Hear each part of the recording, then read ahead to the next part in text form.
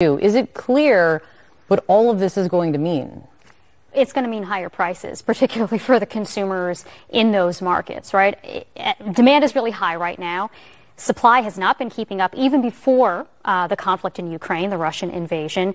If we are now constraining supply even more, that's going to drive prices up.